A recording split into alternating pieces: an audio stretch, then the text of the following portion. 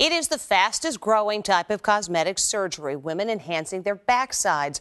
But some women aspiring to obtain those curvy figures like stars like Beyonce are turning to an underground world of dangerous backroom procedures. Lisa Guerrero has our I Squad investigation. From J-Lo to Beyonce to Kim Kardashian. These days, having a plump, curvaceous behind is certainly an asset in Hollywood. Pump it up, back it up like a Tonka truck. And it's become the latest craze in cosmetic surgery. Women are paying big bucks to get curves like the stars. We found a shady underground world of people who allegedly create big butts with strange cocktails filled with things like liquid cement and Fix-A-Flat sold for tire repairs.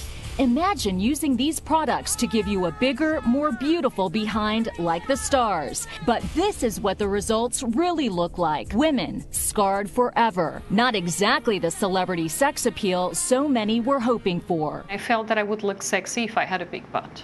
Gabby Castillo always envied Jennifer Lopez's sexy moves. She wasn't satisfied with her own curves, so she paid 6,000 bucks to get a more voluptuous backside. Not long after the procedure, this lump appeared on her behind. It grew into a life threatening infection. I remember the horror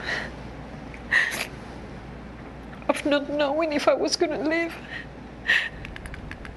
Doctors told Gabby she'd been injected with an unknown contaminated substance. She had to undergo 28 surgeries, which removed the infection and most of her behind. She's left with permanent scars and has to wear prosthetic pads just to feel normal. What patients are doing without knowing it, they're rolling the dice.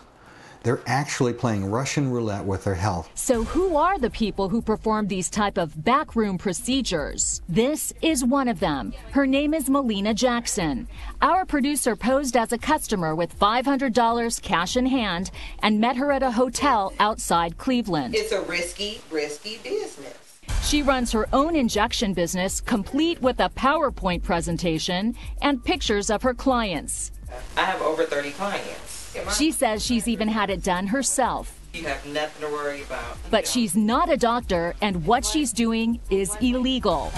She asked our producer to go to another location for the injections. That's when I walked in. Hi, I'm Lisa Guerrero with Inside oh, Edition.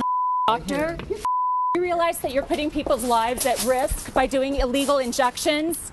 Do you realize that you're putting people's lives at risk? Secret meetings in motel rooms aren't the only way people are getting these injections.